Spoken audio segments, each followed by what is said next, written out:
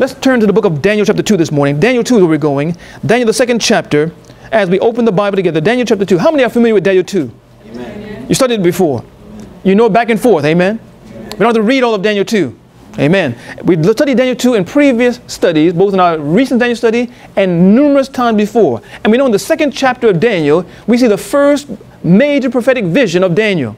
In Daniel 2's second chapter, we also see an image used, a representation, a symbol used by which we understand all the world empires to the end of time. Can you agree with that? Amen. Oh, you don't agree with that? Amen. Okay, a few more people. Do we see in the image of Daniel 2 a representation of Babylon? Amen. Also Medo Persia. How about Greece and Rome? Do we see a divided kingdom at the end? Okay, so if we're all on the same page, we see in Daniel's prophecies, Daniel's vision, an outline of the last day. As a matter of fact, in Daniel 2, let's turn there quickly. Daniel 2, let's drop our eyes down on the scripture that will help us understand what we're looking at. Daniel, the second chapter is where we're going.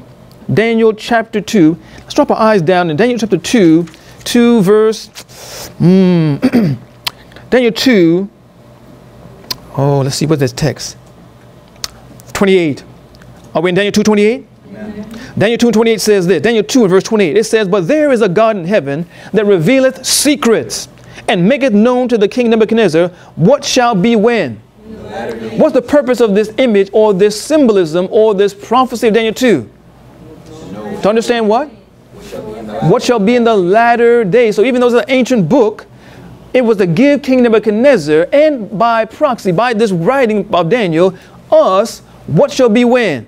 In latter days, let's continue. In the latter days, I dream in the vision of thy head upon thy bed are these. Then he starts to show them. He saw a great image of a man, an idol, if it was, of a man with a head of gold, arms and breast of silver, belly and thigh of brass, legs of iron, feet of iron and clay. Remember that? And also saw a great stone that was cut out of a mountain without hand that came out of heaven, as it were, and came to this image and destroyed these metals and this image, and it became as the chaff of the summer threshing floor, and it was blown away. Remember that? Okay, we're still on the same page. If we remember these divine truths from the Word of God, from the prophecy, we also know that these various metals, even though they all represent as one, one, all these varied different nations are represented as one, one body, all connected, all as a body is connected, so all these nations are connected, and as they're interrelated and interdependent, all these world empires are also interconnected and interrelated prophetically, politically, economically, socially. Everything about them is interconnected. It's a connected chain from the beginning of time, as it were, all the way to the end of time. And God means for us to study it so. Hope you're taking notes this morning. We saw that these varied metals represented by this one image gold, silver, brass, iron, and iron and clay, all in this one image, come to their end in the book of Daniel in a representation, a symbol, where this image is destroyed by a great stone. A great stone. As a matter of fact, in Daniel chapter 2, let's drop our eyes down there. Daniel chapter 2 and verse 34. It says, Thou sawest, Daniel 2.34, Thou sawest till that a stone was cut out without hands, which smote the image upon his feet, that were of iron and clay and brake them to pieces. Notice verse 35, which is the point of our message this morning. Then was the iron, the clay, the brass, the silver, and the gold broken to pieces how? Now, brothers and sisters, we have in our previous study understood that that gold represented Babylon. Do we agree with that?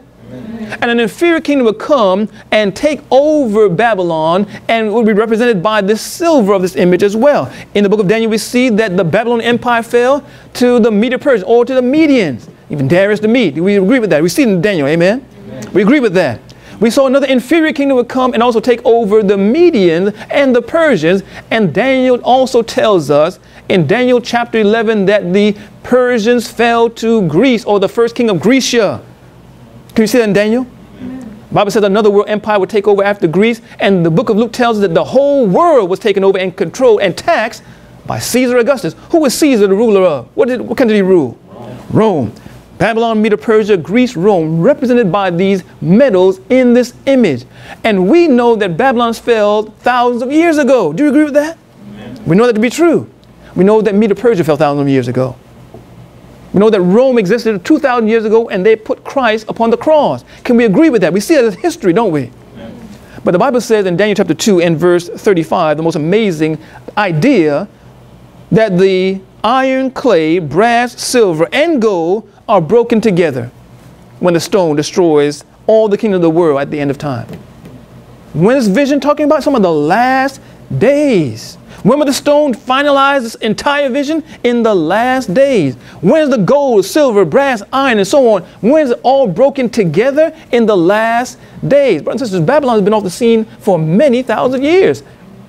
So would Medo Persia and Greece. These empires fell many centuries ago, many millennia ago. But the prophecy says that all these elements, because gold is an element and, and iron and so on, all these elements will be existing when this great prophetic stone puts an end to this world's system of things. We're still together. Amen. How can this prophetic truth take place in the last days?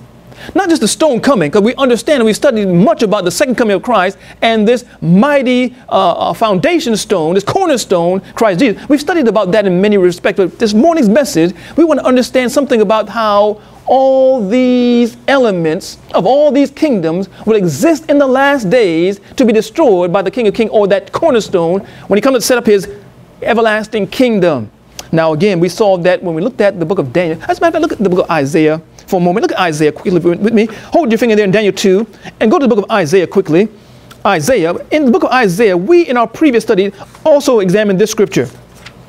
Isaiah chapter, I believe it is 26. No, it's not 26. Oh, where is that found here? Isaiah 28. Isaiah 28. Are we there? Notice in Isaiah 28, we studied this scripture before. We found that the Bible teaches us who will understand the last days. We just found that the prophecy is a way that understand the last days. Amen. Maybe one person did.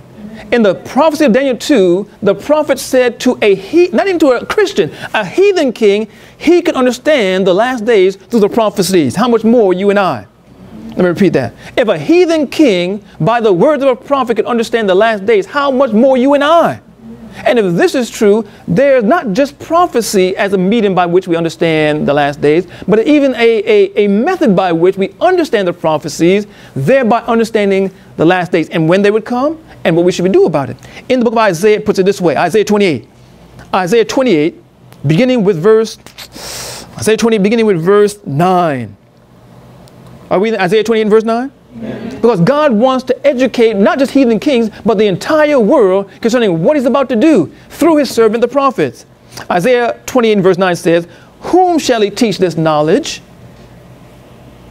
And whom shall he make to understand doctrine? Who shall he cause to understand the doctrines concerning even the truth of God, his salvation plan, which includes the end of this world, the sending of his it says, them that are weaned from the milk and drawn from the breast. And we know those illustrations deal with, in many symbolic representations, the Word of God.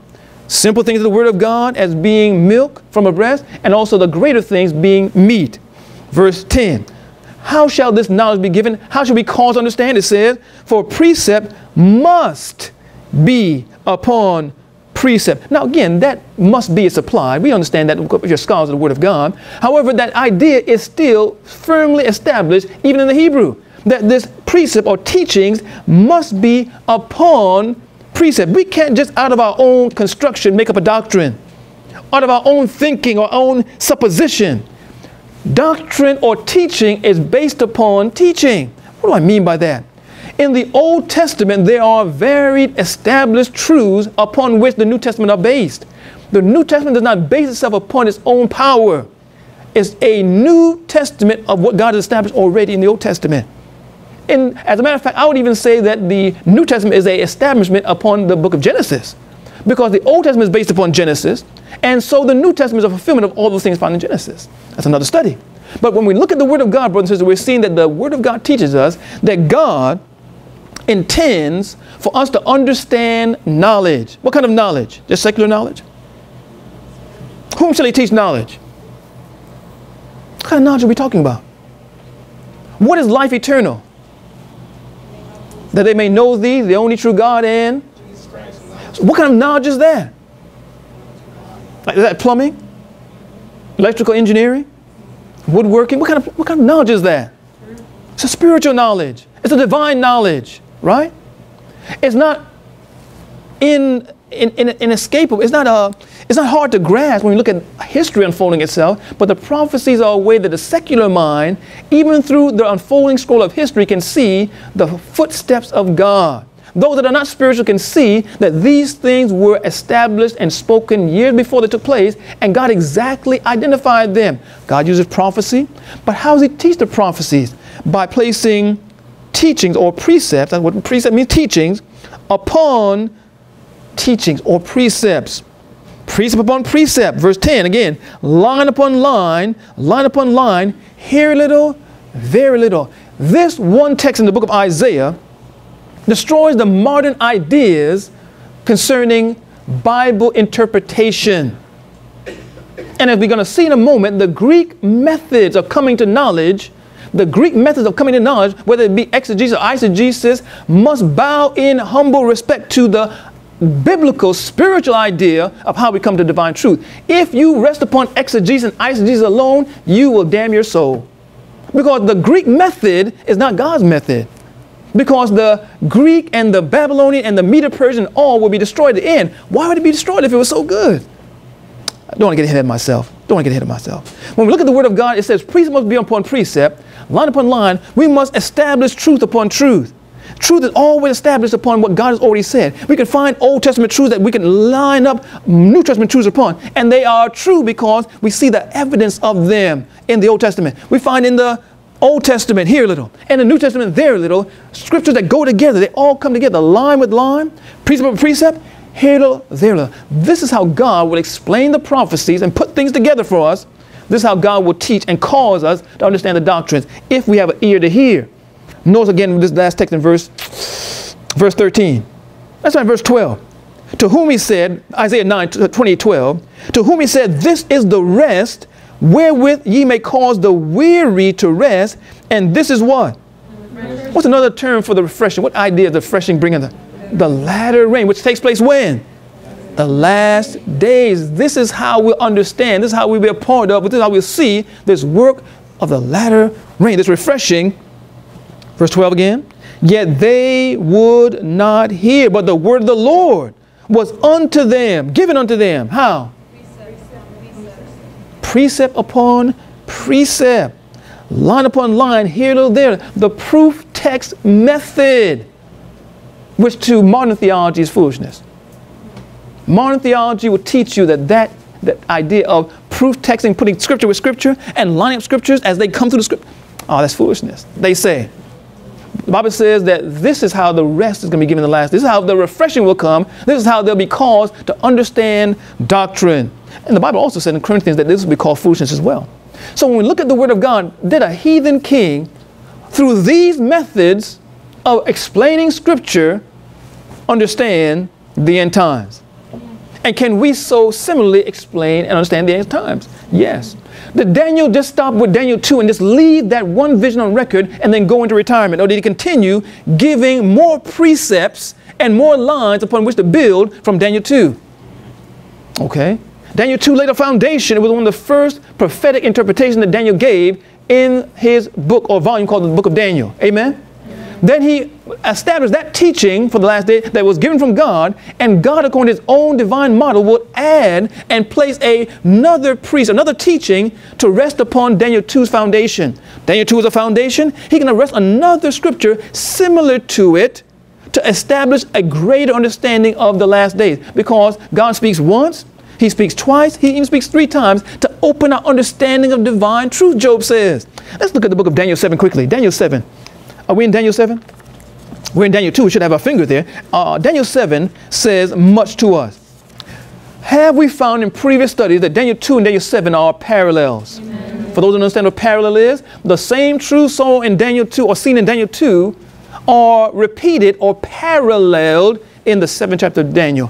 One or the first of Daniel 2 shows the all, all the kingdoms, empires of this world represented as various metals and various body parts of one image. In the seventh chapter of Daniel, all the world empires of the world, from Babylon all the way down, are represented as beasts from Babylon all the way down to the last empire. Same truth, but a different symbol employed. Because precept must be upon precept, line upon line, here a little and there. As we put these things together, what happens to us? We're caused to understand doctrine. Put these things together, what's happening to us? We are now understanding a knowledge, the knowledge of God as we compare the scriptures together. Let's continue. In Daniel 7 and verse 12, the Bible says this. Let's drop our eye on this specific text of scripture. Daniel 7 and verse 12. Are we there? Because we understand that the first kingdom was a, or the idea of symbol was the lion, amen? Then you had the bear, right? Then you had the what? The leopard, and last was the nondescript beast, this amazing, terrible beast that had no natural parallel in, in the natural world to be used. It was an undescribable beast. Lion, bear, leopard, and then this undescript or nondescript beast that was terrible exceedingly. Four empires represented by four beasts. Amen? Amen. Four metals, four empires. Again, and Daniel 7 knows what it says in verse 12. It says, as concerning the rest of the beasts, they had their what? Their temporal power, these kingdoms rose and fell. Their dominion was taken away, yet their lives were prolonged for what? Their lives were prolonged for a season and a time. Did Babylon fall? Yes. Did dominion fall? Yes. Did Medo Persia's dominion come to an end? Yes. Greece also fall. And also Rome. Pagan Rome. Did papal Rome also receive a deadly wound? Revelation 13. All these powers would have their dominion taken away, but it says their lives will be prolonged for what? a season and a time. And didn't Daniel 2 show us when that season would come to an end? So uh, as we compare these two together, we're getting a great understanding. We know that season comes at the end of this world when the iron and the clay and the brass and the, all these various beasts, as it were, come to an end and that great stone is set up. Can you agree with that? Again, another clear prophetic symbolism showing us that all these elements will exist till the end. And we see as the elements of gold and silver and so on, the seventh chapter of Daniel says these things are the life being maintained or the life being prolonged. Do you see that word life there? Let's read it again. Maybe you missed that. Daniel 7 and verse 12. As concerning the rest of the beasts, they had their dominion taken away, yet their elements, the gold and silver. Yet their lives were prolonged for a season of time. How could the Babylonian people of that generation be dead thousands of years? How can the Medo Persians be dead thousands of years? Yet the Bible says they live on even until the end time when the lifestyle of the Babylonians, the lifestyle of the Grecians, the lifestyle of the Medo Persians and Romans continue until Christ destroys those lifestyles, the political structure, the, the, the, the kingdom, as it were, would come to an end. But the lifestyle would continue until the last days. And if it was going to continue the last days, it needs a medium, a vehicle by which it can be continued. For those who are taking notes. Still together. Okay, but I want to write down some notes, I guess especially some notes. If you weren't taking notes before, you need to take down these notes. In our previous study, we looked at some scripture we're going to look at right now. We're going to look at some scriptures we've looked at before, but again, we want to write them down because they're going to help us as we look at something prophetic in a few moments. Let's first turn and we look at these ideas or principles of the life of Babylon continuing, the life of Medo Persia continuing, the life of Greece continuing, and so on. How do we see the characteristics of life, especially as the Bible teaches them? Because knowledge comes through the Bible. The doctrines that are going to be taught here in Daniel 7 must be seen through the Word of God. What does the Word of God say about the lifestyle of Babylon, the lifestyle of Greece? The, how did God encapsulate or take a snapshot of how they lived to show us what will be prolonged until the end?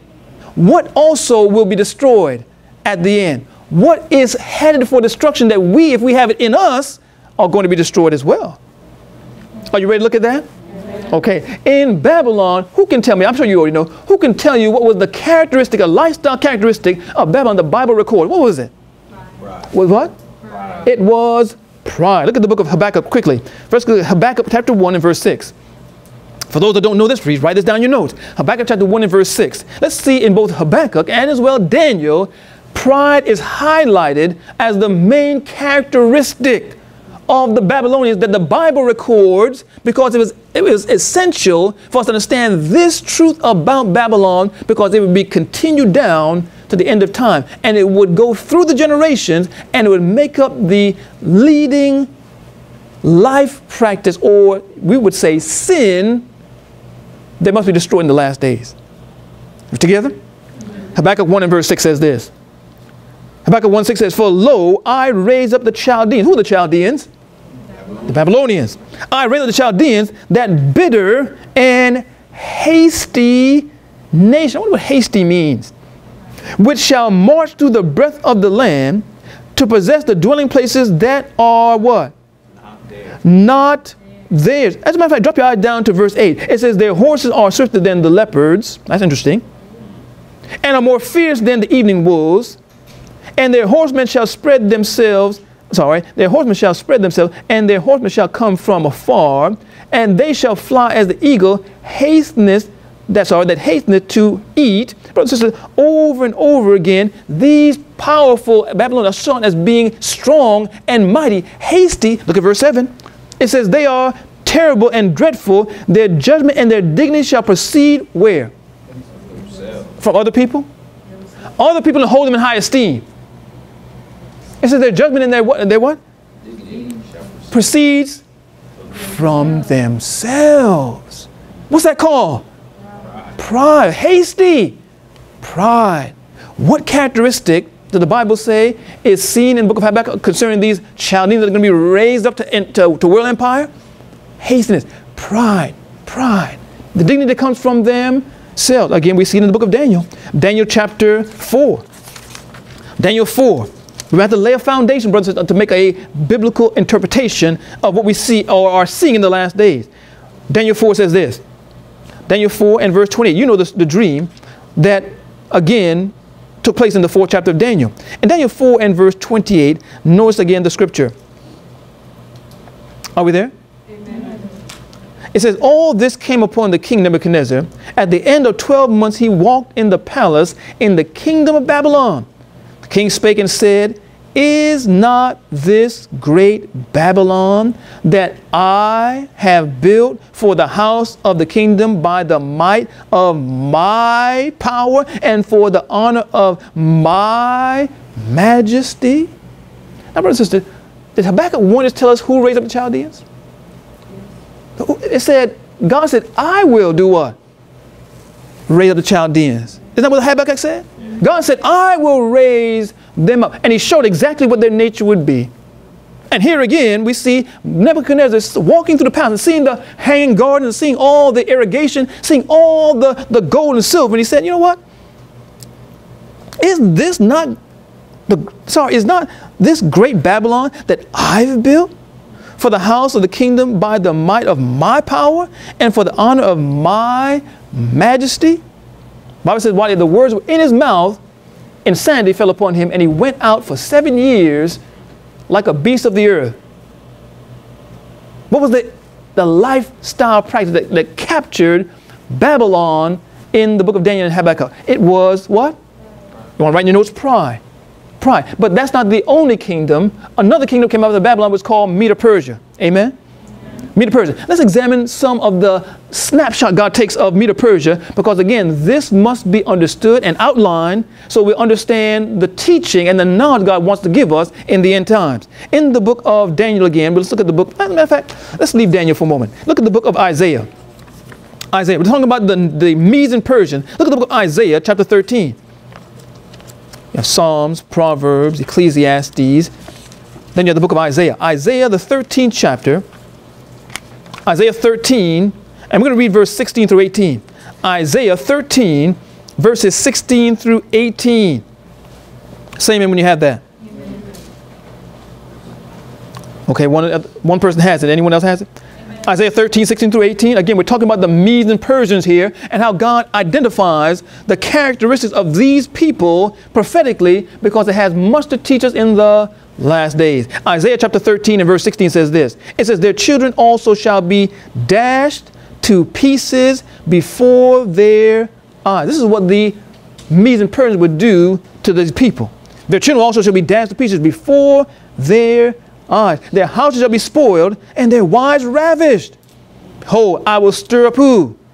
The Medes against them, which shall not regard silver. And as for gold, they should not delight. In other words, you don't have to pay them to do this. They just love to do it. Their bows also shall dash the young men in pieces, to pieces. And they shall have no pity on the fruit of the womb. Their eyes shall not spare children. Here we see two things I like to draw up. Most time when we look at this identifying mark, we see the idea of cruelty. But cruelty in connection with what? Violence. Violence. So we see two characteristics of life that are seen in the Medes and Persians that these individuals, especially when it came to violence, were what? Cruel. Write down two words violence and cruelty. Violence and what? Cruelty. Violence and cruelty were seen in this power that will be seen again in a greater way at the end of time. Violence and what? Cruelty. cruelty. Also, let's add something to that. Daniel. Let's turn back to Daniel now. Daniel. That's why we have to teach this because there's so many scriptures we have to have in our arsenal to see spiritually what God's showing us. In the book of Daniel 6, it says this Daniel 6.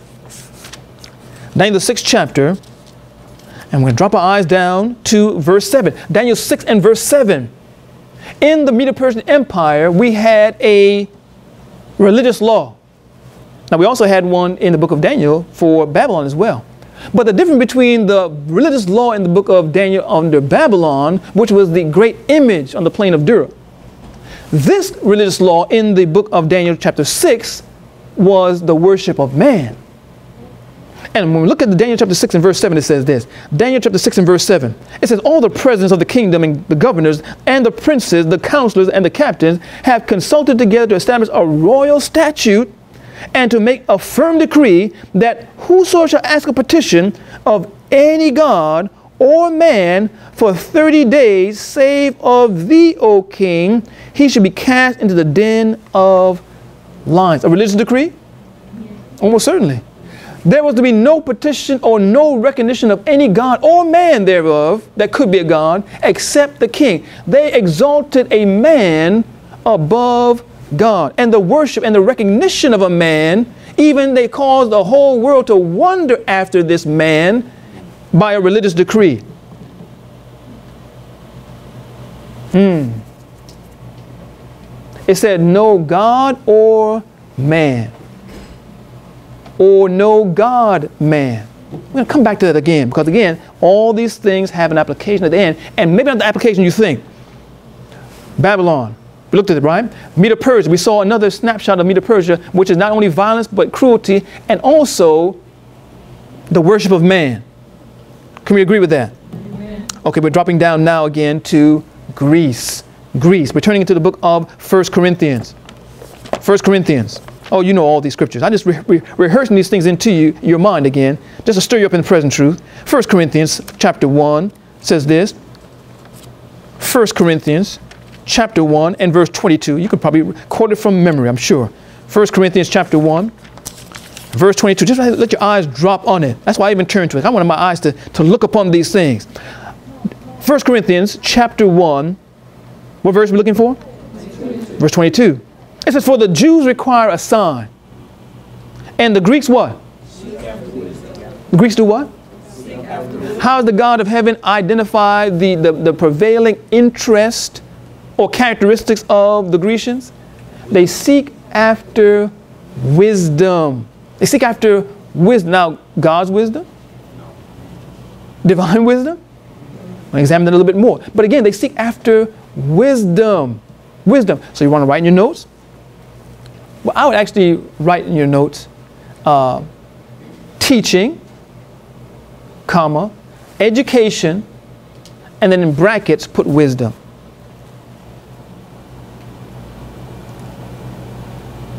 Teaching, education, and then brackets put wisdom. I also want to put the word communications there, but we're going to get to that in a moment. We'll get that in a moment. We're going to firm that up a little bit further on down the line. Have we seen Babylon? Have we seen Medo Persia? Have we seen Greece? Now we're going to stop here for a certain reason. Why? Because when we look at the 13th chapter of Revelation, which shows us a prophecy concerning the last days that Daniel 2 was intended to show us. Follow me? In Daniel 2, we were told that Daniel 2's purpose is to show both the king and those reading this message to the king what shall be when? And the 13th chapter of Revelation is again supposed to teach the same truth of what happens in the last days and the events and situations and uh, uh, happenings that lead up to that great stone destroying all the kingdoms of this world. The 13th chapter of Revelation does that, if you understand what you're looking at. But again, in the 13th chapter of Revelation, do we see symbols? Do we see symbols? Can we rightly understand these symbols without Daniel? Can we rightly understand the 13th chapter of Revelation, the symbols therein without Daniel? No. Let's look at that. Look at the book of Revelation. Revelation 13, quickly. Revelation 13. And notice why we stopped at Greece. Are we in Revelation 13? Okay. Remember, we saw in Daniel 2 iron, gold, silver, and so on, all the way down, right? Daniel 7 came with the lion, the bear, the leopard, and so on and so forth. And we know that Babylon, Medo Persia, and Greece, gold, silver, and brass, right? The lion, the bear, and the leopard are represented for us to understand what shall be in the last days. Amen. In the 13th chapter of Revelation, when we look at this beast power, there's two beast powers in the book of Revelation 13, a first and second beast. The first beast, notice how this first beast is, is described symbolically to you. And let's see if we can understand what we're looking at. In Revelation 13, let's read verse 2 and 3 quickly. Revelation 13, verse 2, it says, And the beast which I saw was like unto a. Leopard. Stop right there. What type of beast was this beast power? Leopard. Okay, only one person said it. So you, so you just be quiet for a minute. Let's see. What kind of beast was this beast power? Leopard. Okay, maybe four people said it. What kind of beast, brothers and sisters, spiritual people of God, was this beast power? Is there any doubt in your mind? It was, it, it was a leopard. It was a peculiar leopard. It was a leopard mixed with some things, but the beast in principle was a leopard.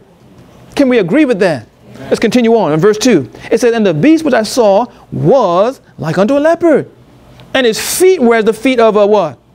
Bear, and his mouth as the mouth of a lion, and the dragon gave him his power, and his seat and what? Great authority. Great authority. So, brother and sister, when we talk about stopping at Greece, the reason why I stop at Greece is because this beast, even though he receives power and seat and authority from the dragon, the very beast is composite of three of these kingdoms, or these three make up one.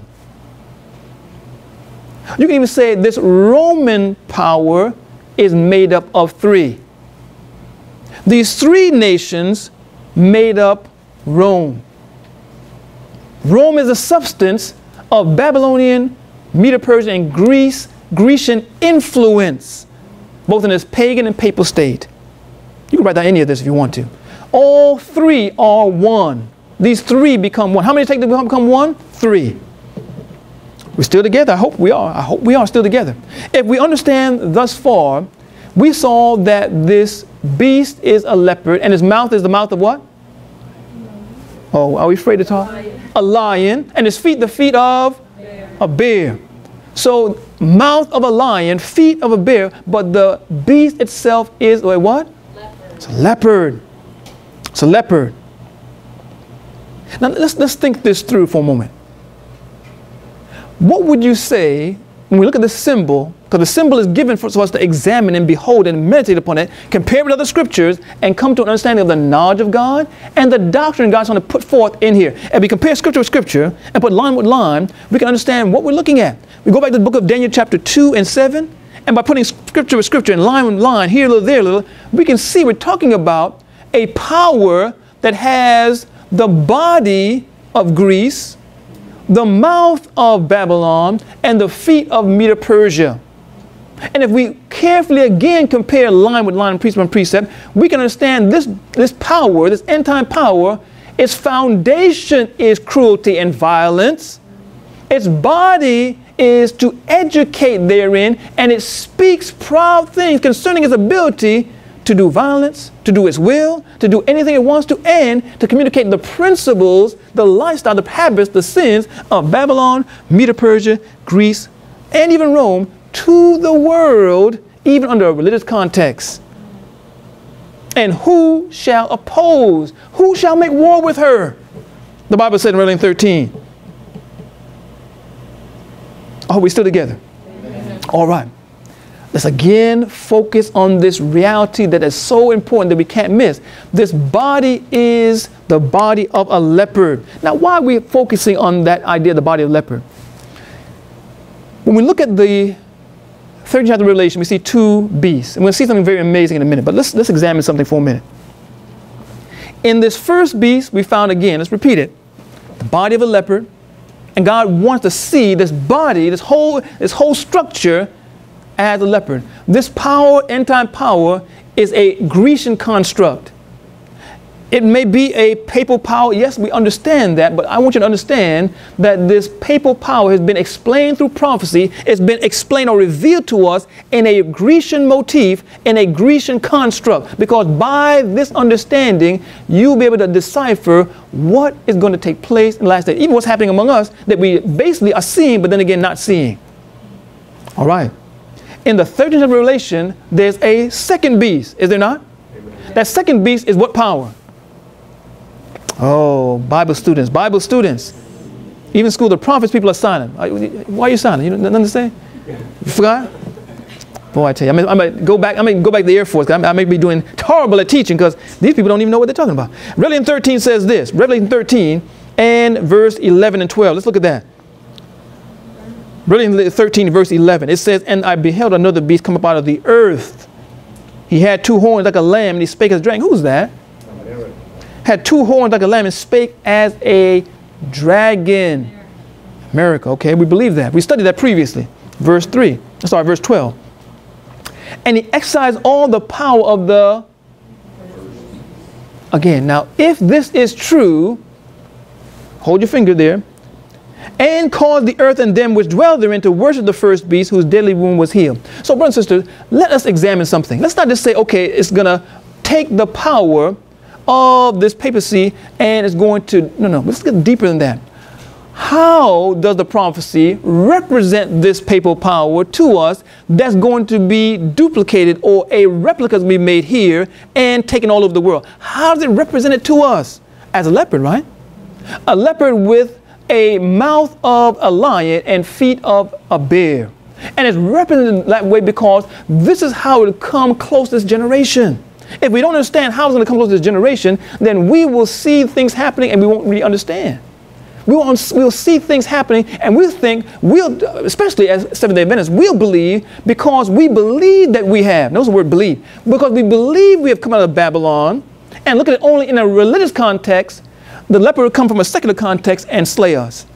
And many people have been slain. Their spiritual life is in, in complete disarray because they have, in, the Bible says that a man would be as one that ran away from a lion and met a bear. You maybe didn't understand what I said by that because you maybe didn't understand Daniel 7. A man that ran away from a lion and then met a bear and then ran into a house. What's the house in Bible prophecy? A church and then laid his hand upon a wall where there's protection and doctrine should be and a serpent bit him. He ran away from Babylon and Medo Persia, ran to the church, and the devil met him there. Because he thought that he was saved from Babylon and from Medo Persia in the church in the last days. Brother and sister, we're talking about the fact that when God represents this papal power to us, it represented as a leopard with a foundation in violence and in, in, in cruelty, but with a mouth speaking great things and pride. And this symbolic representation has much to teach us for the last days, especially when you examine some scriptures. This is some scriptures quickly, because this second beast, America, will duplicate, it'll make an image, it'll make a likeness of exactly what this papal power is seen to be according to the symbols. The same leopard like motif and structure would again replicate itself in America. The same ability through violence and through cruelty to establish itself as a foundation will be seen again. It'll exercise all this power and give back worship to this beast. But if we look at Seventh day Adventists and say, well, I, I feel sorry for those that are in the world, we're going to be deceived because guess what? This power, this power has stolen a march on Seventh day Adventists because we have not carefully understood the, the wide ramification of this prophecy. The Bible says clearly here that this second beast will make an image to the beast. And we've only looked at this image or this replicating a, a likeness to or exercising all the power of only in a secular con- only in a religious context. We've only looked at it and we have been f- afraid of and we have been, been exclusive from churches or religious structures because we fear that by partaking or by being associated with these particular these, these religious structures that we would be influenced by the beast we would come under the power of and be more like the beast. And we have excluded the churches and we've gone right into the state. Because babylon was not just a religious power but babylon was a political structure. It was an economic structure. It was a social structure it was educational structure. Are we still together? Amen. When we look at this idea of a leopard, if the body is a beast, feet are the bear, and the mouth are that of a lion. Where do the mouth, where does the mouth get its strength from? The heart, right? Okay. The body is a leopard. Only the mouth is the lion. The body is leopard. Only the mouth is lion. The body is leopard. Only the feet are the feet of a bear. Only the feet. Those, the, the part of, the, of this beast where all the vital organs of life are, are leopard-like the, the, the foundation is given to the bear, and what it says and pronounces, what it communicates, is of the leopard, but out of the abundance, Matthew 12 says, out of the abundance of the heart, the mouth speaketh. And where's the heart? In the leopard. In that, in that idea of wisdom. Now, brothers and sisters, where are we going with this? Where are we going with this? Psalms 11, verse 3, it says, When the foundation be destroyed, what can the righteous do? What can seven day Adventists do if their foundation is similar, if their, their standing is similar to this power, and they are making an image themselves, or partaking of this image, or being influenced by these nations, not by the churches, but by the world. Not by the churches.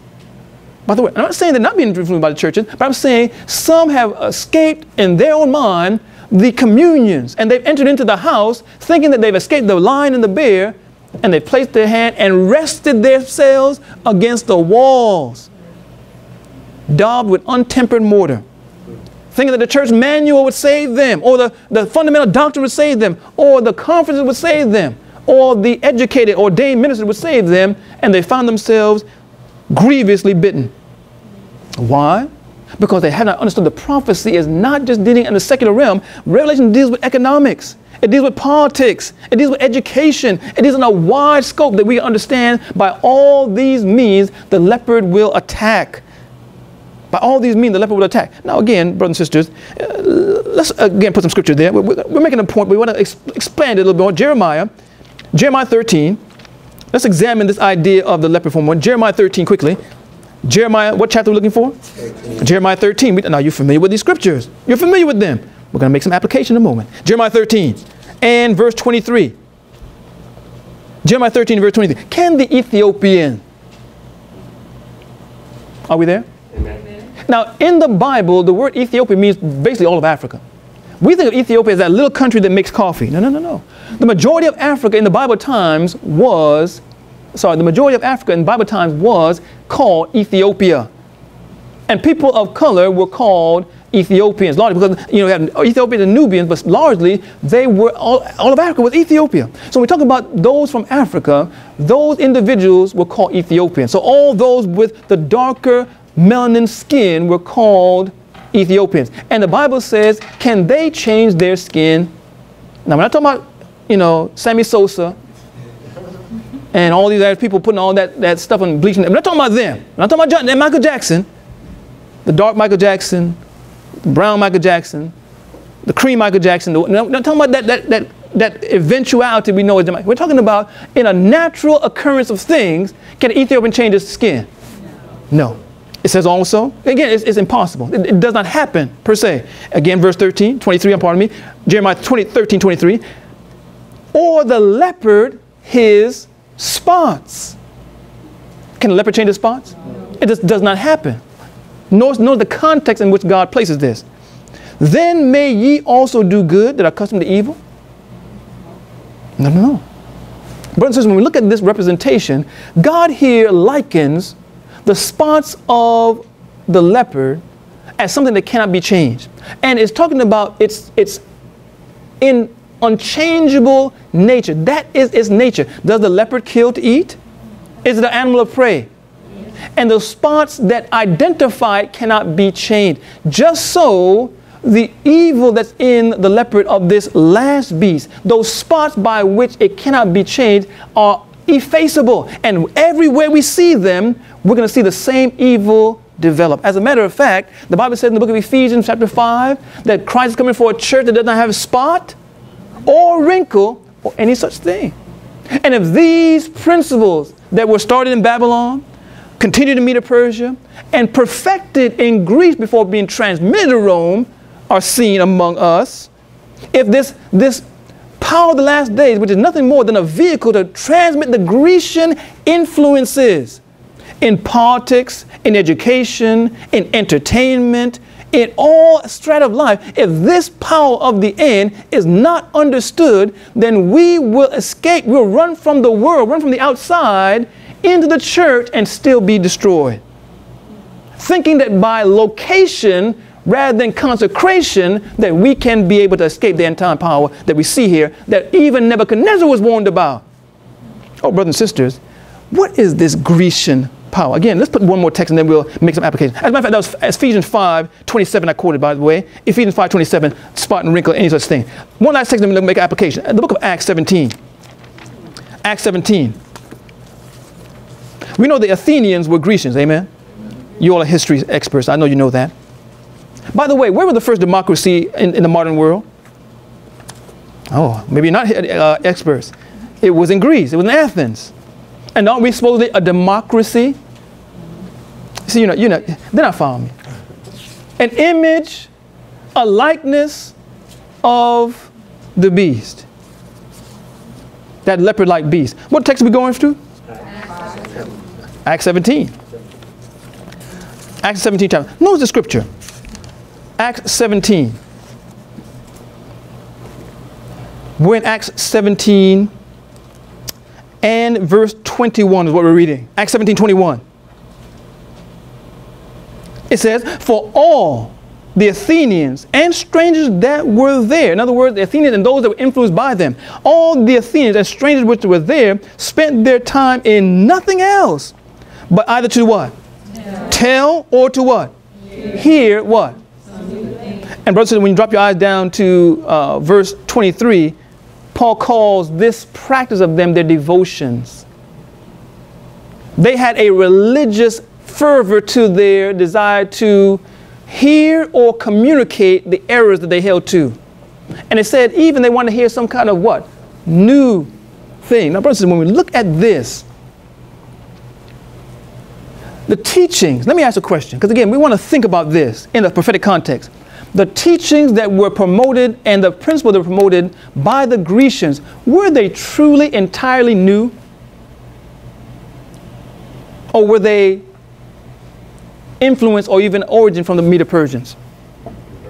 And those Medo-Persian concepts that were brought into Greece and even perfected, were they really new or did they have their origin in Babylon?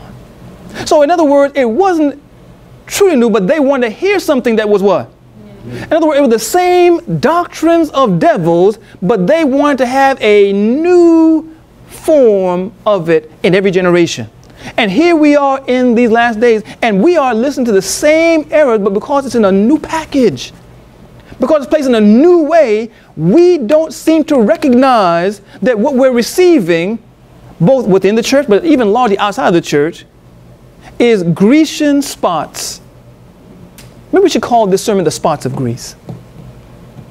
Grecian spots, or these unchangeable principles or elements of error that have destroyed many generations and have come down to the end of time before God destroys it himself. And if we can find that the papal power can communicate these things outside of the church, outside of the church structure, they might be successful. Because remember, that deadly wound in Revelation 13 was when the papacy lost its power to exercise its strength by and through the state. Church and state was separated. There was no unity between church and state in this so called one time Holy Roman Empire. So now the papacy was wounded. It had only this, this, this, this religious entity. And now we see a work in the 17th chapter of Revelation where it seems to be in the wilderness. She's seen the 17th chapter of Revelation in the wilderness or in obscurity or doing things in secret. But she's still in the 17th chapter of Revelation riding the nations. How is she in this is not state where she's not with real strong political power, but she's still seen as riding control of the nations? And how would this connection seemingly a wilderness of truth or a truth that's hidden or in obscurity? Could it be that even though she has not completely regained her power yet, she still has the power to influence politics, influence education, influence economics, and influence education to accomplish it because she is a leopard like beast and she desires the medium of wisdom to be the vehicle by which she can accomplish all things. The Greeks seek after wisdom. They desire to do nothing else than to teach or tell or educate or communicate or to receive intelligence concerning some new thing. And brothers and we're going to find that when we look at what happened in Babylon, Medo Persia, and especially Greece, we're seeing the same thing in our day, and these things in the, the secular environment the secular environment are so heavily influencing the church that when we bring people to the church, we bring young people to the church, people are not interested in the church. Why? Because they have been Hellenized six days a week.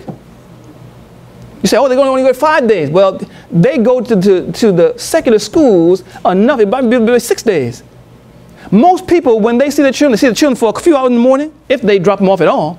They come home, they have enough time for maybe dinner, if they eat dinner together, maybe a high and by, and they're in bed, and this goes on and on and on. And then they come to church on Sabbath, and they seem so disinterested in the things of God because they have been Hellenized. The same principle by which, you ever notice how in the Bible there's a complete book and there's all this prophetic line concerning Babylon and all this information concerning Medo Persia?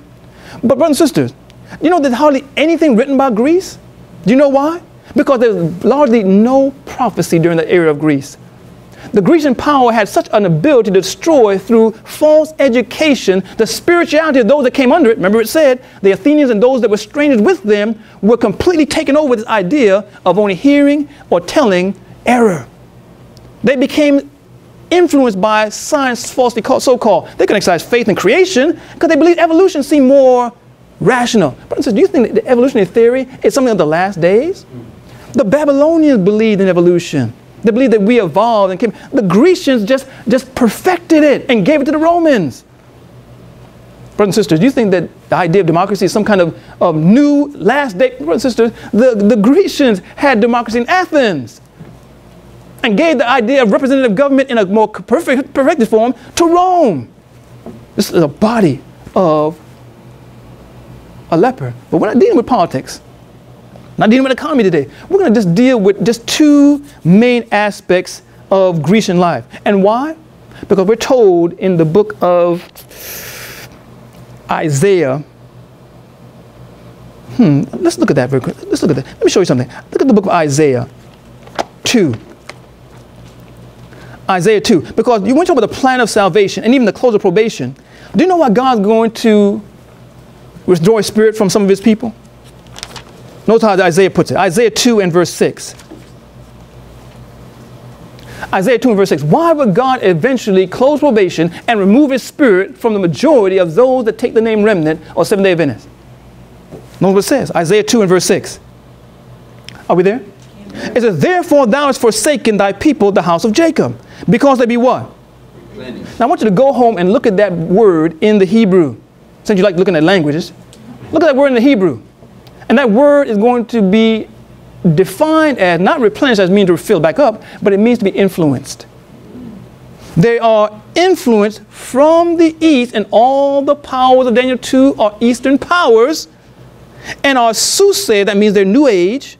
They're into the, the astrology and the, and the so-called spiritualist movement, like the Philistines, and they please themselves in the children of strangers.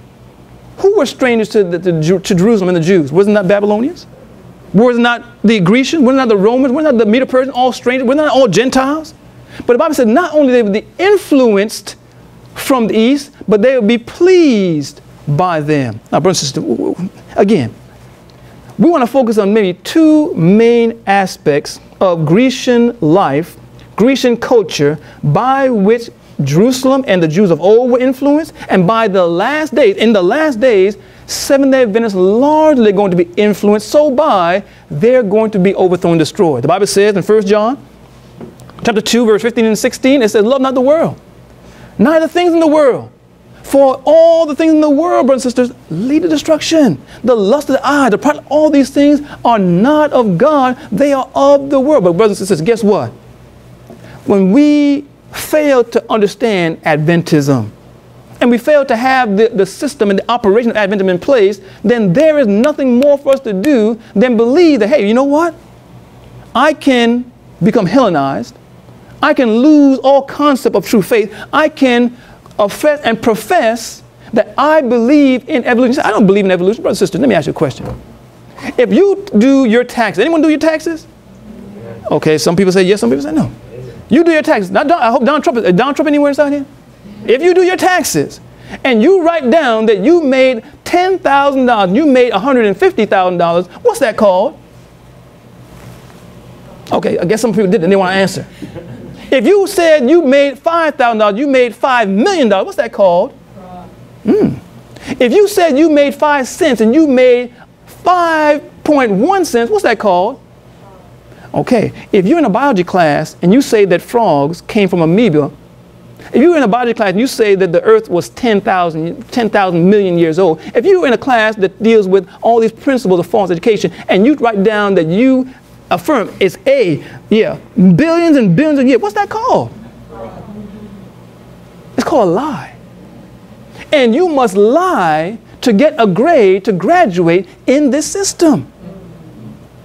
And this is why when we look at the principles of God, brothers and sisters, we have to be very cautious when we lead or, or allow impressionable youth to be influenced from the East. Daniel was so established that he was able to go through this false education without being hindered by it. They changed his name, they castrated him, they brought him naked, according to the prophet Isaiah, naked from Jerusalem all the way to Babylon, but he refused to change his principles of spirituality. He didn't want to eat their food. He wanted to keep and even called himself, even though they called him another name, he called himself by his name, Daniel.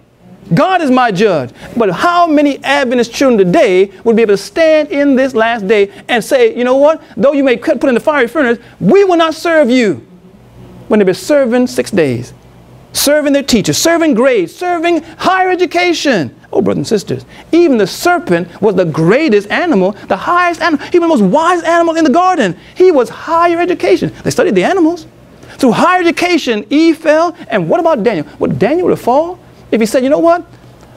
I'm going to not only allow myself to take this name, change of character, I'm going to change my diet too, and then go into this course of study. Oh, brothers and sisters, the course of study that Daniel was supposed to go through was a cause to change his name. They wanted to change his name from Daniel to Belteshazzar. And Hananiah, Mishael, and Azariah, it was Abednego.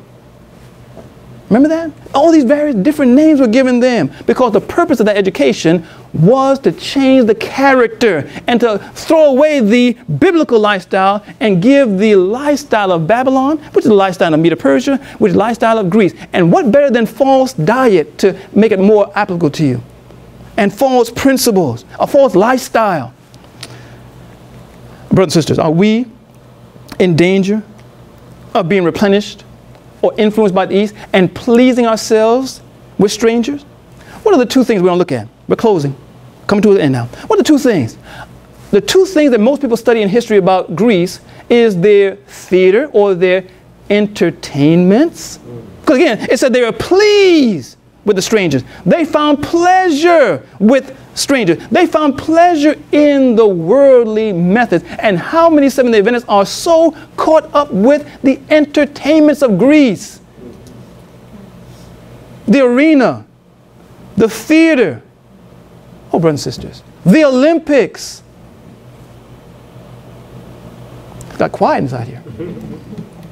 You know, you, do you know how many channels ESPN has? Do you know how many channels on cable are devoted to sports? What percent, I would like to know what percentage of the stations on cable are devoted to sports.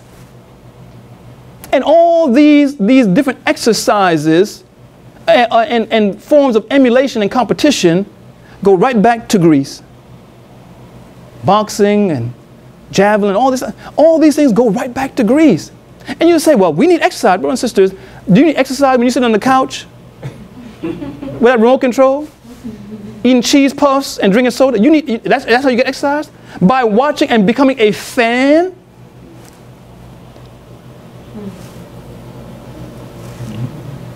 You here at 11 o'clock service, listen to the sermon, but you're TiVoing the game. So when you go to take your nap after church, you could get some good rest. So you can now pay careful attention. Now you're sleeping in church, number one. Then you go home and sleep a little bit more until you have enough energy to watch the game you TiVo during Sabbath hours anyway. Brothers and sisters, this is where we're going because the Grecian power of the papacy, when she received a deadly wound, she could not exercise her religious power as strongly. So she now had an idea to rule and control the nations by using secular power secular influences. And one of the greatest ways she would do that is using her Grecian skill, which is education. Education. And with education, also entertainments. Entertainment. Let's start with, can we start with entertainment? Let's start with entertainment for a moment. Today we live in a world where most people, especially here in Florida, you can't get television unless you have cable. I mean, I mean, th there's no more this, this, uh, this, you know, putting silver, silver foil and, and aluminum foil on a wire. You can't do that anymore. It does not exist. If you don't have cable TV, you know, cable TV means sex, homosexuality, and all that. Unless you have all that, you can't get television. Now, if you have the internet, maybe a little bit different. But still, you, I mean, you could have almost, you could type it, boy, don't type in the wrong word on the internet. Have mercy. Don't type in uh, another word for being happy than H-A-P-P-Y. Brother, sister, you, you, you, your eyes would pop out of your head. It's a complete open field. But, brother and sister, let me, let me make a, a few statements. When we talk about the Grecian Empire and their lives being prolonged, a major part of the Grecian Empire were the entertainments by which they pleased themselves and all from around the world came to entertain themselves at the Greek theaters in the Word of God, we call uh, the, the Son of God called the preachers of his day in the mainline ch popular church hypocrites. You know where that word comes from? It comes from the Greek. It means actors. He said, What you're doing in the pulpit is exactly what happens in Hollywood of their time. You say one thing, but you don't really mean it. You're saying something you really don't believe. And this came from the Greek mindset.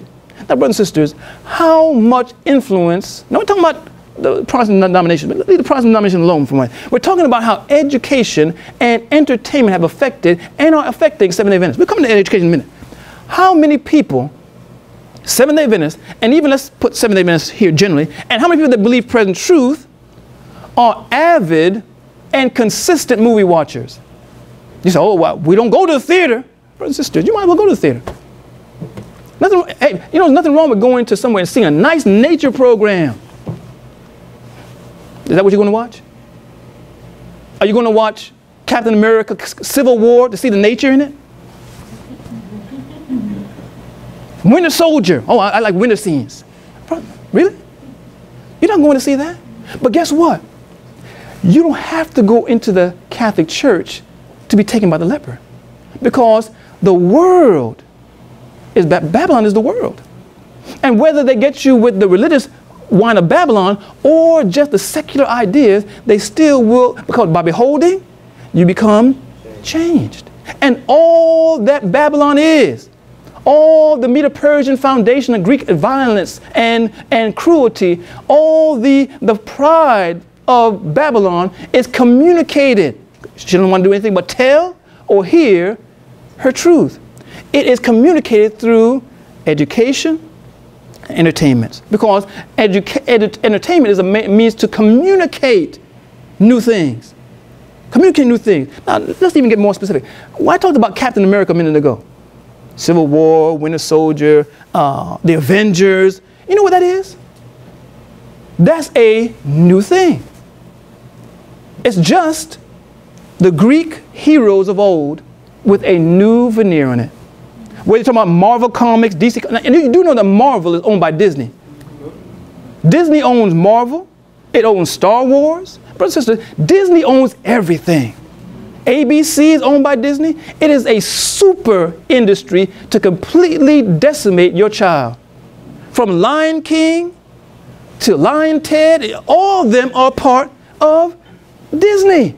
And they're looking to Disney to support them. Brothers and sisters, do you know how much power Disney has? How much money Disney has? How much an ability to have to communicate one central idea through the media. There's no other media conglomerate in the world. Now you may say Apple, but Apple uses iTunes. Maybe Apple and Disney, maybe they're side to side, but Disney has the power to communicate all the teachings of Greece under a new form. And you add with that, just Hollywood in general, and you add DC Comics inside there, because you know that Superman is Zeus, right? And Hercules, right? You know that, right? You know who Hercules is? You know, all these ideas, brothers and sisters. Remember, Medo Persia made laws and wanted to exalt the worship of man. And we talk about these Greek heroes, these Greek heroes were gods. They were called gods. He, Hercules and Zeus, these people were gods. All these people had either fully God or they were God and man, which is again a blasphemy of Jesus Christ. Remember that one movie by that Brad? What's that movie that Brad Pitt was in? What's that movie? Ah, mm. He played that guy that drifted in the river Styx. What's that? See, I can't, I can't get him that. Usually I get them. Usually I get them. There was a movie. Uh, I think it was. Uh, what's the name of that movie? Can't get you. Okay. Well, well, praise God. Praise God. But there was a movie based upon the Greek story of a child that was dipped by his heel in the river Styx. And because he was dipped in the so-called prophetic river Styx, he was impervious. And Brad Pitt played that movie, and I tell you, man, he, his career just went, went astronomical after that, after playing this Greek hero, or this hero of antiquity. Now, brothers and sisters, these same ideas of regular people receiving superpowers or being half divine, half God, are seen all throughout comic books, all throughout all these various types of, of entertainments that at one time you say, oh, these are just little kid stuff. But you know how many hundreds of millions of dollars Captain America has and will take? You know how much, how many billions of dollars the Avengers series, which is based upon comic books and all these various different heroes of our modern age, which is just a play off of all these ancient heroes. You know how much money they're making? And who's going to see them? Little kids? People your age, my age, that still want to be entertained by these comic book heroes, but with new Hollywood power. Who is buying all these videos? Who's buying the PS? What, what 13 year old has $400 to buy a PS4? Tell me one 13 year old, one 12 year old has the power, the financial power to buy himself a PS4, a PlayStation, or any of the other video game systems, or pay 50 or $60 for a video game or more. Who has the power to do that? Their dad and their mom who still play video games? kids over there sitting in the corner crying on, on, on, on uh, Christmas because his dad invited all his friends over to play his PS4. And they're playing Madden, and, you know, they're over there. Oh, come on, man, we'll, we'll get to you, come on. It's adults playing this, playing these games and enjoying them because, again, they're pleased with those things that are in the world. And what are they playing? One of these comic book heroes, or Star Wars, or they're playing one of these Greek Olympiad games to fight against other people and to gain their, their wreath. Brothers and sisters, when we look at these things, all these things are, are entertainments. As a matter of fact, the, even the term gymnasium comes from Greece and Rome. And what do we see in the gymnasium? The same thing we saw in Greece. In Greece, they would exercise to gain this, this, this body of strength to be able to do these various games and also to be crowned as a god man, something similar to Hercules or one of these different powers. And brother said, do you know how they exercise? Naked. Completely naked. You said, well, thank God we don't have that anymore. Brother and sister, you ever seen leggings and jeggings and yoga pants? It's quiet out there, quiet. Does yoga pants leave anything to the imagination? Not mine. We go to the airport. One, my wife, all the ones my mom was singing. Nearer, my God, to thee. Man, COVID gets so, so religious inside the airport. Hmm. Whoa, whoa, whoa, whoa, whoa, whoa, whoa, whoa, whoa. I will follow thee, my Savior. And how many people generally today don't even wear clothes as if they were actually going to do just people generally wear sporting clothes. Yes or no? Yes. the whole idea of even people that don't even exercise. Even people that don't exercise. They always are wearing sweats. They're always wearing a warm-up you know? Hey albert what are you doing? Oh man. Oh, I'm just, oh, I'm, oh, I'm going, going out to the store to get me a, a, a 40 ounce. Uh, you, I got, I got this Adidas warm up to go down the store and get a, some liquor. Hmm? Don't even exercise. But again, it has become entertainment. And the entertainment has so pervaded the culture and controlled the mind that what Iverson wore, people wanted to wear. What Jordan wore, people wanted to wear. And people are still wearing Jordans to this day because it is about the game. The game pervades culture. And as pervades culture, it becomes a fashion statement. Isaiah 2 says this. Isaiah. Notice the book of Isaiah. Pardon me, Isaiah 3. And Isaiah 3 puts it this way because again, what do these various movies and, and television shows pervade? And even the entertainments, they also pervade fashions. How many people today, we turn to Isaiah chapter 3, wear basketball shorts?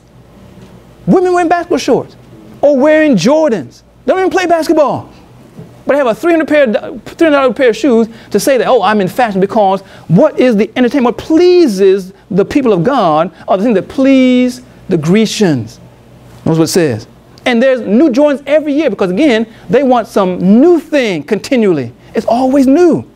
In the book of Isaiah, well, new to you, Isaiah chapter 3 says this, in verse 16. Moreover, the Lord said, because the doors of Zion, the church, are what? How did the church get proud? They've left Babylon. They came out of the foreign churches. How did they become proud? Maybe by, by reading old magazine, maybe? So that they don't go to the world, but they have the world sent to them in magazine form. Or they subscribe on YouTube to these various channels? How they become proud and wear all these fashions of the world? Maybe because even though they don't go to the churches of the world, they want to have that Greek body. So as they watch and download and subscribe to uh, Tae Bo and PX90 and Zumba and all these various aerobics, and they see these women dancing around in yoga pants, well, hey, man, I might as well get a little pair too. See, because I can, I can imagine that I look like that. And even though you know we don't go into the world and we don't we don't we don't dance, we could. If it's aerobics, nothing wrong with it if it's aerobics. So uh, you know, I, you know, man, how did Sister Smith learn all these dances? How did my Sabbath school teacher know about all these? Uh, mommy, How does Sister Sister know what the butterfly is? Because she was doing an aerobics class. See, under the guise of exercise or entertainment, exercise, you could be Hellenized. You would, eh, you would take Greece when you would avoid Babylon. But when you take Greece, you are receiving Babylon. And as you look upon those fashionable stands, you don't see anything wrong with a little bumping and grinding. R. Kelly must have been a prophet, I tell you.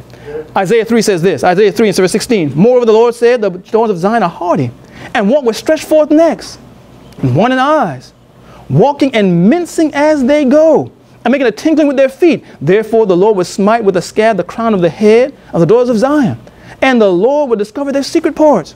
In that day, the Lord will take away the bravery of their tinkling ornaments. Now, brothers and sisters, what are these ornaments? What's the ornaments? Jewelry. You say, well, I don't wear gold and silver. Brothers, you know how many Seventh-day Adventist ministers today? Seventh-day Adventist ministers that are, are especially into so-called health, they believe, or getting fit, or going to the gym, are now wearing Buddhist prayer beads. Now, now, I could almost, if it weren't for the fact of an open Bible and history, give some grace to people. Being that I lived in Japan for four years, being that I studied Eastern religions and so on and so forth, maybe I'm a little bit more, more aware of these things when I see them and they immediately strike me as being something I remember from my past. But again, the Bible teaches you that we shouldn't have anything to do with some of these things. But many people are wearing these Buddhist prayer beads. What they use to pray cones and pray their various different prayers to Buddha or to nature, but now we wear them as just a symbol of our one love. Or it's just, we think it's cute or it's a sign that I'm into fitness, or, or you have all these very, or maybe say, uh, I don't want to tell what my heart rate is. So let me get this, uh, this bracelet, tell me what my heart rate is. You need to know your heart rate at all times? I could almost, I could, I could almost agree with a watch to some degree, but you want to know what your heart rate is at all times? Oh. Got a cell phone, but you need, you know, to, to check all, brother, sister, come on. It's easy to be Hellenized because it all seems innocent. But where does it come from? It comes from the world. The doors of Zion, verse 19, have their chains, bracelets, mufflers, the bonds of honor. Now you say, how could they in the church and in Christian homes have any knowledge of these things? Greece. Because they watch television, they watch movies, they're on the internet, and by watching these things, brothers and sisters, even Facebook, say, oh man, I, I have their Facebook. I want to see what Brother Cofer's doing. Oh, really? Then why is your history 90% uh, Little Wayne's page and 1% mine then? Why, why is your page uh, uh, Little Wayne and uh, Zane and uh, Flatbush Zombies? And I don't know, I have nieces that go to these concerts. Flatbush Zombies. What? Really? How is all this in your history, but you say you're getting people to see what I'm doing, see my message? Oh, brothers and sisters, come on. Again, when we look at this, this idea of entertainment, by entertainment, we have been deluged, our children have been deluged with all the things of the world. And by beholding these things, they become changed. They lost a relish for the Word of God, for worship, for the idea of spirituality. And because of this, we believe, oh Lord, what have I done? Brothers and sisters, if we place before our, our own eyes the things of evil, will we not be changed? If we say that we're escaped from the Babylon of this fallen papal system or the foreign church that keeps Sunday, and we protected ourselves by Seventh day Adventism, but then bring the great image into our house so we can worship it. See, even the children of Israel had to go out to the great plain of Dura to worship that, that, that, that idol. But we bring that idol into our home so we can look at all that's gold. Remember that idol was all gold. Or it's all what? all Babylon. But through the internet and everything, we can bring that right into our home. And we can sit there and watch and listen and take in and drink in all the principles of Babylon. The fashions, the teachings, the theories. And let us not, as we even leave entertainment for a moment, let us not miss the fact that not only do they have the theater, but also the arena and what's going on in the arena? Mortal combat, hand to hand combat. So much so, it would call blood sports. Men would go in with other men and they would fight verily to the death. It didn't start that way, but eventually they would fight to the death. The Greek wrestling and other combat sports were combined in a way that people would now come in the thousands to watch people in cruelty and what?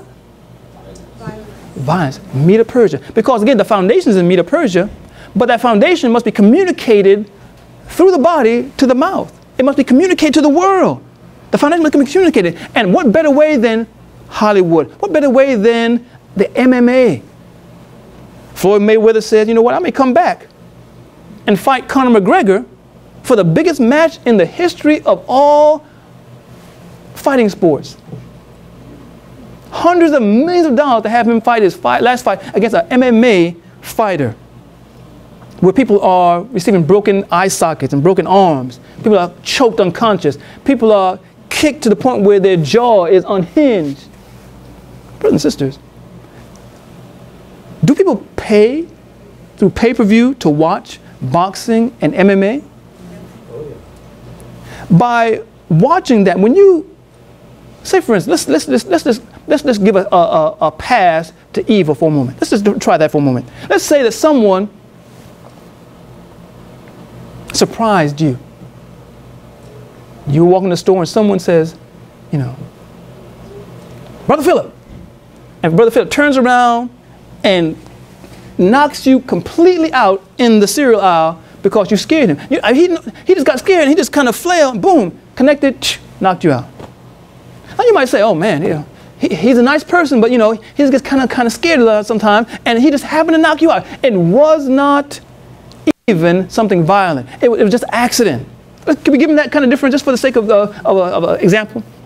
But what if he not only turned around and just accidentally knocked you out, but then straddled you on your chest and started to beat you to a pulp over and over and over and over and over again. See, first you might say it was accident, but then now we're going from accident to what? Violence, and also he's going to the point of just being completely uh, conscienceless and cruel.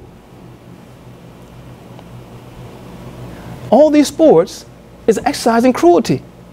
To see someone hit someone over and over and over again until that person gives up or they're knocked unconscious or they're so bludgeoned that through points they lose if they can endure to the end. In MMA, you can either be knocked out or you could be submitted where you're choked to the point of loss of consciousness or to the point where you're about to lose consciousness and you tap out or your shoulder or various types of joints are so uh, on the verge of dislocating that you come to the point where you tap out or again through points. Brothers and sisters, it's an exercise in cruelty. And by beholding, we become what? Change. By beholding seven events, become what? Change. Change. And brother said, you say, well, you know, why are you so judging and assuming, brothers and sisters, all you have to do is go and do your little ministry on Facebook and see the timelines when these fights or these football games or these uh, basketball games are going on and look at the posts. Steph Curry, amazing. Steph Curry must be the Illuminati. He's just too good. Steph Curry, oh, Warriors, go Warriors, go Ducks. Adventist posts.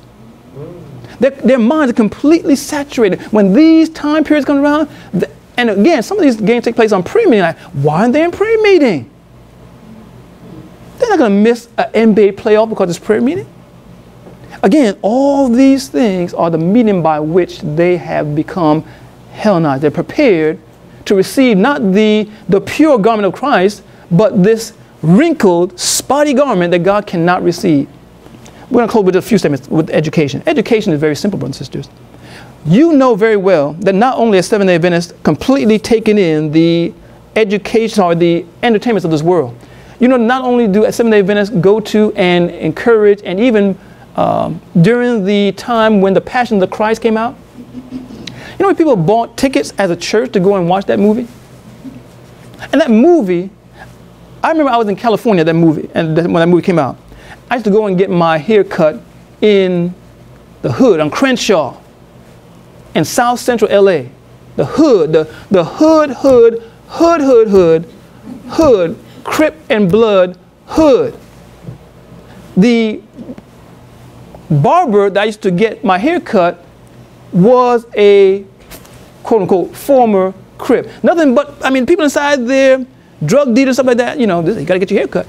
Um, I mean, just, the man, I, the man said to me, he said, preacher, because he knew I was a, a preacher. He said, he said, preacher, man, do you see that Passion of the Christ? I said, uh, no, I haven't seen it. I, I, I really don't go to the movies. He said, man, I have never seen anything like that. This is someone who has to be jumped into a gang, beating people up and getting beat up, and has to go and beat people up. He said, I've never seen anything like that. He said, I, I, had, to, I had to leave. I couldn't stand watching them beat Jesus like that. The movie was so violent. This gang member, former gang member told me he couldn't stand. He had to walk out. But churches bought that in mass to go and take this Catholic rendition of the cross, because it was written by a Catholic nun. That's, that's, that's, her book was the inspiration behind it. Screenplay directed by Mel Gibson. Mel Gibson actually built a Catholic church. Built a Catholic church. They didn't get that.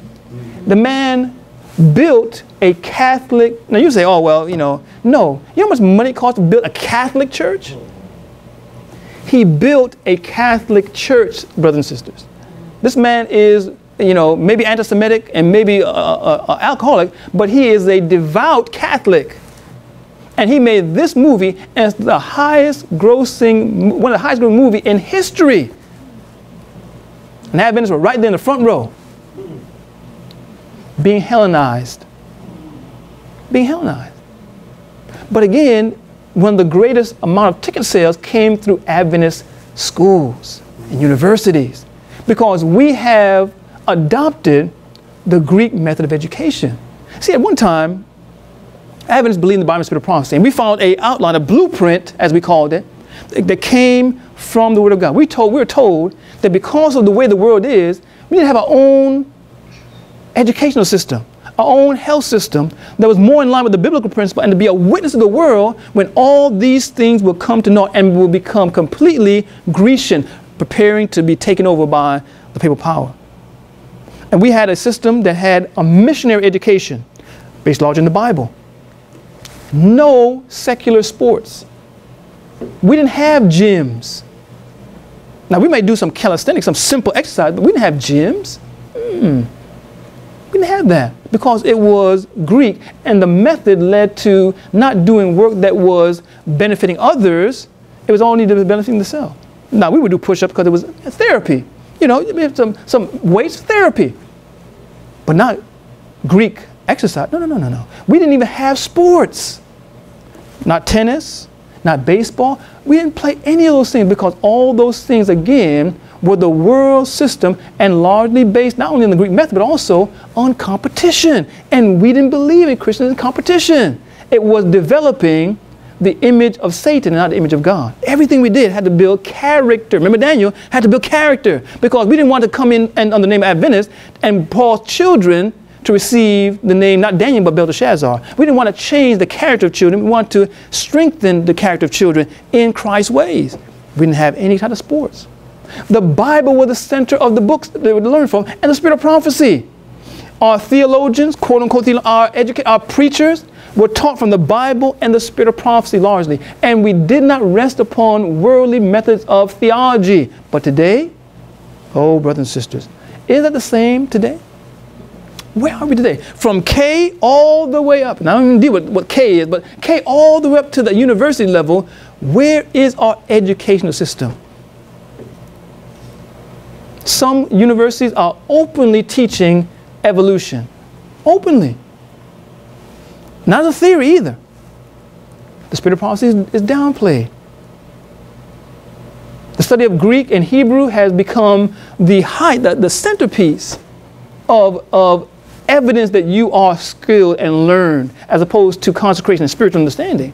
The idea of line upon line oh no, we don't deal with that our complete system of education has been scrapped and thrown away for a new system. You say, well, that's just, you're just making that up. Brothers and sisters, are we accredited?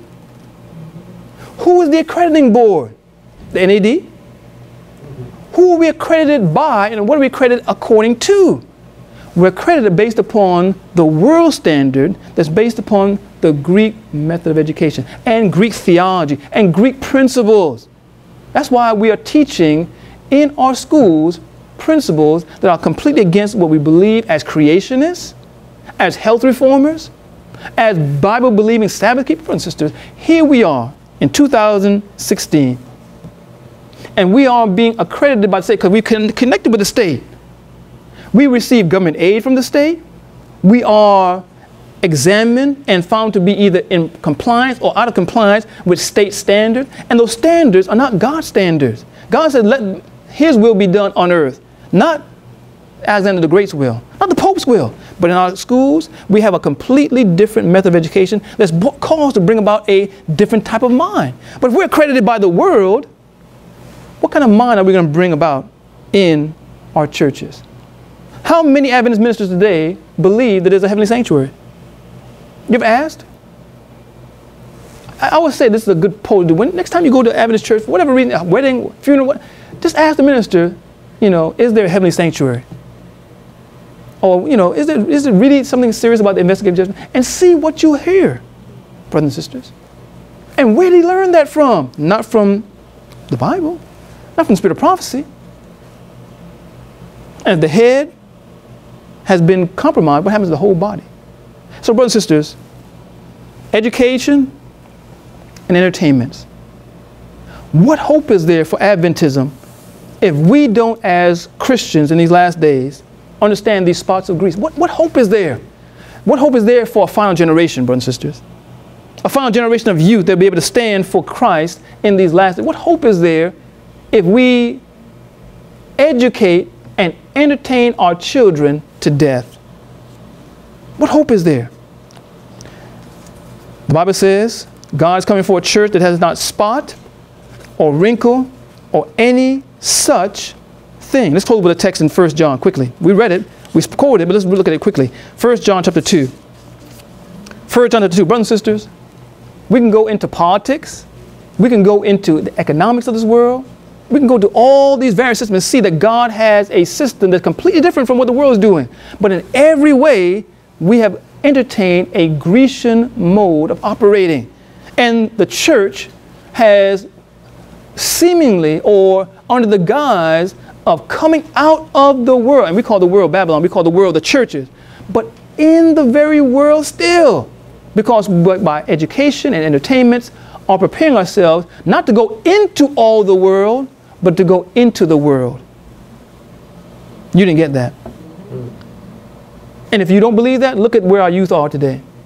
Look at this Genesis study that was done not too long ago that said that our churches are hemorrhaging youth. We don't have youth that are dressing right and want to be in school. No, they want to go out there. They want to get some hooker boots, some yoga pants. They want to, they want to dress like they wear. They want to get some earrings. They want to get some bangles and bracelets. They want to be like Rihanna. Forget the woman in Revelation chapter 12. We want to be like Rihanna. Bad girl Riri. That's what they want to be like. 1 John 2. Now, how you know what, what I'm talking about? See, people laughing, they give themselves away. 1 John 2. 1 John 2, verse 15 and 16. It says, Love not the world. Love not the world. Neither, here's the key, because we're talking about those elements, those principles of life that continue to this day the fashions, entertainments, the theater, the acting, the principles of evil neither the things, it says, that are what? In the world. Not the world, nor the things that are in the world. If any man love the world, all the things that are in the world, what? Could it be they're Adventists without the love of the Father in them? They've accepted the culture of Adventism, but they don't have the truth of Adventism. They've accepted the name of Adventism without the power and doctrine and teaching and knowledge behind it. Verse 16, for all is in the world, the lust of the flesh. Is that taught through movies? Does sporting events today teach the lust of the flesh? Now, some, only one person saying yes. When your team loses, do you say, oh well? Or do you take up a chair and throw it into the television? Do you throw the popcorn up? You take your kids and throw them in both directions.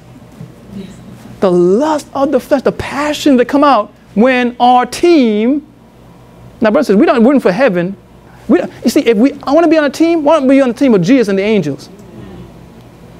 Because by default, we're the warriors in the time of Satan and his angels. That's the team we should be on. We should be cheering for them to overcome. But, brothers and sisters, again, if you, for all this in the world, verse 16, the lust of the flesh, the lust of the eyes. The lust of the eye. How, do our eyes cause the lust? And by seeing these things, do we want to be like them? Do we want a pair of Jordans? Do we want a pair of basketball shorts? Do we want, pair, do we want to dress like the world? And the pride of life. Brothers maybe you're not seeing this. Babylon, the pride of life, or the continually proud life that's come down to the last day until Christ destroys it. All this is not of the Father, but is of the world. Brothers and sisters, in Daniel 2, we saw that that stone is going to come and destroy the gold, the silver, the iron, and clay. Not metals, but principles of life that will be continued in a people in this last generation. And we found that these principles of Babylon, Medo Persia, Greece, and Rome are seen not just in uh, some kind of strange ancient way, they're seen today in movies. Star Wars, The Avengers, The Walking Dead. I mean, you want to talk about cruelty and violence.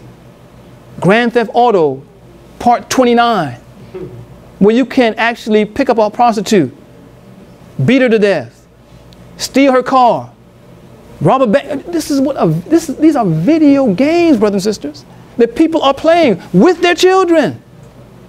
That Seventh-day Adventists buy for their children buying rap albums for their children that they can play, you know.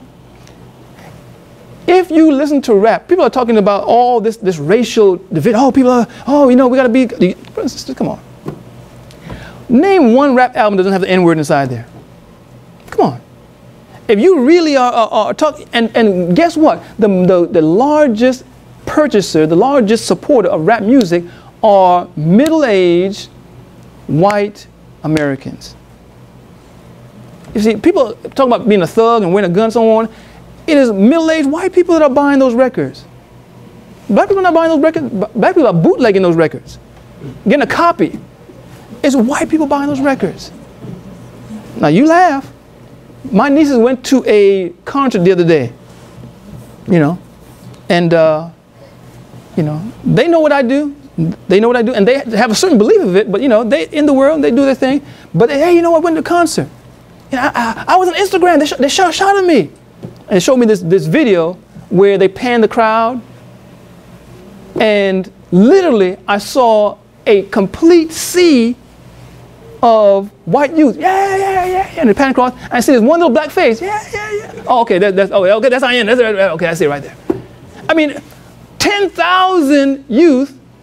I saw three black people inside there paying, I don't know how many dollars to be inside there and buy a t-shirt and get a, a, a tote. Brothers and sisters, is being supported by white middle-class people. So again, don't believe that oh, this is just black music. All these forms of music are for everyone. Remember the book of Daniel? It said every nation, every person bowed to the same music. Everyone is listening to jazz. Everyone's listening to rap. Everyone's listening to country. Well, maybe not country. But everyone's listening to most of these music, brothers and sisters. Everyone. The whole world is going to wonder in entertainment and education and all these forms after the beast, brothers and sisters. But where are we as Adventists? We believe that we're safe. We believe that we have come out of the world in a religious context. And even though we're truly we're deceived on that point, we have educated and entertained ourselves right into Babylon so that when it comes time for the mark of the beast, we are going to, in our Adventist churches, in our conferences, in our units, in our divisions, give our hand to the beast. We're going to yield to the beast because we have so weakened our conscience and our mind, our spiritual nature with sports, entertainments, pride, violence, cruelty, that we have no moral strength. Our children have no moral strength to stand. What would have Daniel and the three What did Daniel, Mishael, Azariah, and, and Hananiah, what would they have done if their parents let them watch YouTube all day long? Let them watch Showtime. Give them an iPod and say, go, hey, do what you want. I'll, never check that. Give them everything. What would happen? What would happen to, will there be a book of Daniel? We are living the last days. We're at the end of time. And as we've thought that we've escaped spiritual Babylon in the religious context, the spots of Greece have come up behind us and overtaken us. It's time, brothers and sisters, to, like the prophet of old, say, As for me and my house, we must serve the Lord. There must be a revolution, brothers and sisters, a revival, a reformation. But when will it start? Will we say, you know what? Well, I'm not convicted on that yet. You're running out of time to be convicted. It's time, long time to be converted. And you're still trying to be convicted? Oh, I'm not convicted on that yet. Brothers and sisters, multitudes, multitudes, where? In the valley of the sin. The Lord cometh, because they're not so convicted on that yet, in the of decision. This morning, we need to make a decision what we're going to do, brothers and sisters, because we can fool ourselves, notice the word ourselves, that we are present believers, we have the truth, we believe in Seventh-day Adventism, but because we are entertaining and educating ourselves on these wrong principles and our children, either we're going to turn them in, they're going to turn us in, or we're all going to capitulate unless we completely renovate our, our spiritual lives. Let us pray that God would open our hearts and minds to truth and that we would be revivalists, we'd be reformed, we'd be converted to meet Jesus in peace, and to not be a part of the iron, the clay, the silver, the gold, when that great stone, Jesus Christ, come to lay a cornerstone of his kingdom in the earth soon and very soon. Because if any of those principles are in us, we will be like this chaff of the summer's threshing floor, blown away with no place left for us. Let's pray together. Father, what shall we do in these last days? Even the king Nebuchadnezzar saw our day and trembled. But Lord, our reality of where we are, even in this time, causes us to not even be flinching. We, we don't feel the real import of where we are. We don't feel ourselves on the edge of the precipice, on the edge of the cliff, about to be pushed over to, to, to forever or eternal doom. We don't feel the true impress. I pray by the Holy Spirit that you would activate our minds. You would cause us to feel the conviction of sin and also righteousness and the coming judgment. That we may make a decision for good, a decision for righteousness, Pray for God's strength to give us the ability to make changes. That we not buy or sell evil anymore. Because if we do that, we'll eventually not be able to buy and sell because of our own unrighteousness. Not because we've stepped for righteousness, because of our own, oh, we'll try and give everything to maintain it. Pray that we would not act or speak or say things that are not true. Or by beholding them, because even those that love a lie will not enter the kingdom of God. And all these entertainments generally, largely, are lies. All these entertainments, these theatrical movies, they are lies. Brothers and sisters, help us not to love anything in the world because all this is not of the Father, but of the world. Strengthen our hearts and minds. Cause us to see the need of reformation and show us how this may be. For we ask all these blessings, even your reviving, reforming power through the Holy Spirit and your counsel of the Word. In Jesus' name, amen. Amen.